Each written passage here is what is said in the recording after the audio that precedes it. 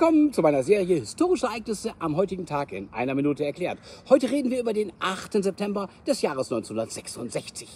Am 8. September erstrahlte damals ein neuer Stern am Fernsehhimmel, Raumschiff Enterprise im Original, Star Trek. Die erste Folge wurde in den USA ausgestrahlt und legte den Grundstein für eine der legendärsten TV-Serien. Die Serie spielte die erste Folge wurde in den USA ausgestrahlt und legte den Grundstein für eine der legendärsten TV-Serien. Die Serie spielte in, in der Zukunft im Jahre 2200 in einer Menschheit, die den Dritten Weltkrieg überlebt hat und sich in einer außer, den außerordentlichen Lebensform zur Vereinigung der Föderation der Planeten zusammengeschlossen hat. Die Crew um Captain Kirk, Mr. Spock und andere erforscht das Weltall. Gene Roddenberry, der kreative Kopf hinter der Serie, setzte mit seiner multikulturellen Crew ein starkes Zeichen gegen Krieg und Rassismus. Diese Version einer friedlichen und vereinten Zukunft begeistert bis heute Fans weltweit. Seid ihr eher die Fans von Raumschiff?